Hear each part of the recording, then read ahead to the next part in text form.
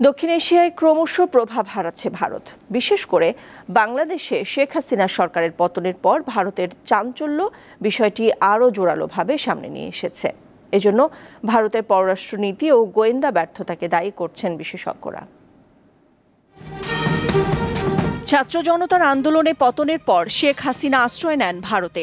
এখন পর্যন্ত বহুদিনের বিশ্বস্ত বন্ধুর আঙিনাতেই আছেন সাবেক প্রধানমন্ত্রী ও আওয়ামী লীগ সভাপতি শেখ হাসিনা।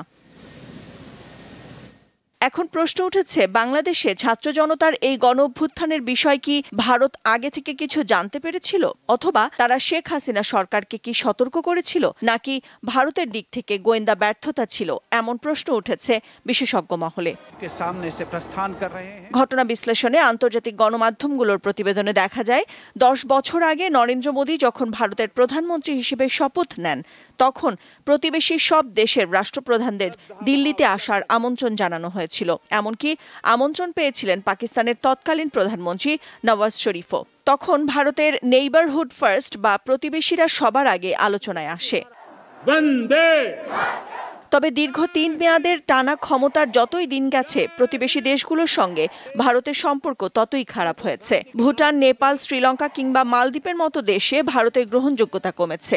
এই তালিকায় সবশেষ সংযোজন বাংলাদেশ। আমেরিকার ওয়াশিংটন ডিসির জর্জটাউন ইউনিভার্সিটির ভারতীয় রাজনীতির অধ্যাপক ডক্টর ইরফান নুরুদ্দিন বলেন, দক্ষিণ এশিয়া হল সারা পৃথিবীতে সবচেয়ে কম সমন্বিত ও সংযুক্ত অঞ্চল। এখানে একটা দেশ থেকে আরেকটা দেশের মধ্যে চলাচল বা আন্তঃসীমানা যোগাযোগ যতটা কঠিন আর জটিল, তেমনটা সারা পৃথিবীর আর কোনো অঞ্চলে নেই।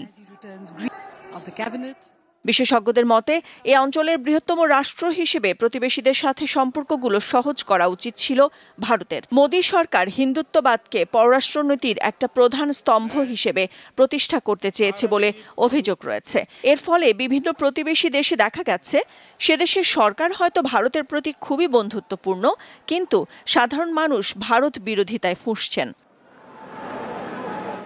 দেশটির এক আন্তর্জাতিক সম্পর্কের অধ্যাপক ডক্টর মুনিরের মতে, মোদীর সরকারের পররাষ্ট্রনীতির রূপায়ণে ভারতের একটি মারাত্মক ভুল রয়েছে, যা হল ইন্টেলিজেন্স বা গোয়েন্দা অ্যাপারেটার্সের উপর অতিরিক্ত নির্ভরশীলতা। গোয়েন্দাদের চোখ দিয়ে প্রতিবেশী দেশকে বিচার করার চেষ্টা করলে সঠিক সম্পর্ক রাখা সম্ভব নয় বলেও মন্তব্য করেন এ বিশেষজ্ঞ। নাদিরা জাহান, দীপ্ত, বার্তাকক্ষ।